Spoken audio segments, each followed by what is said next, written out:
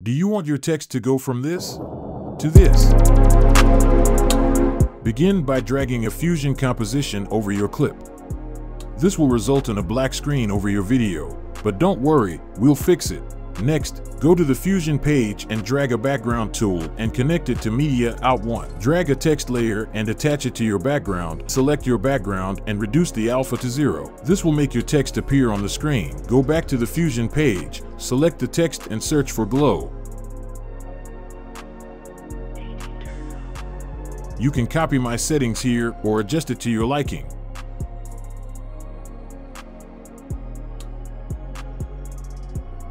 The next thing we'll add is Flicker Addition. This will make our text flicker. You can also adjust this to your liking.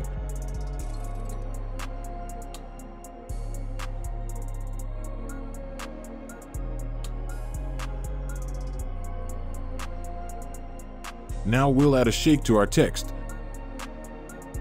Make sure not to increase its strength and speed too much.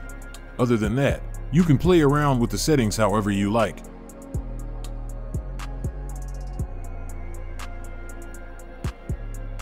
Now we'll add colors to our text.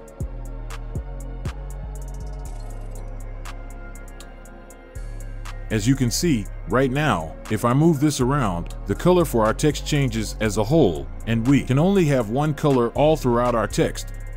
To change this, we'll change our color type to gradient. This will allow us to have multiple colors in our text. We can drag around these little triangles and this will change the way the colors divide through the text. For example, if we want to make a red and blue text, I'll change this first triangle to red and this other one to blue. You can see now our text has a red and blue color with a little bit of purple in the middle. To get rid of the purple, we can readjust these triangles to our liking. Now, if I want to change the color to red and yellow, I can just change the blue triangle to yellow and we'll have a red and yellow text. Under your colors, you can find mapping options. First, we have the mapping angle. By changing this, you can see that the colors in your text start to move around. Then we have the mapping size. By adjusting this, you can change how the colors fade into each other, and mapping aspect is similar to mapping size. To create a color animation in our text, go to the first frame and keyframe the mapping angle and change it to zero. Move to the last frame and change the angle to whatever you like. This will make the colors inside your text start to animate. Now suppose that you would like your text to have three colors, so to add another color, you can just copy a triangle and paste it.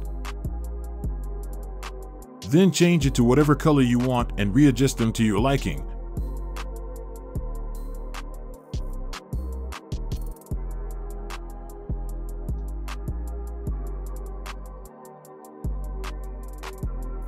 Now that you're back in the edit page, you'll see that our text blends in with the background and it's difficult to read. To fix this, go to OpenFX and search for Drop Shadow. Drag it into your Fusion composition twice. Then copy my settings to make your text visible and easy to read.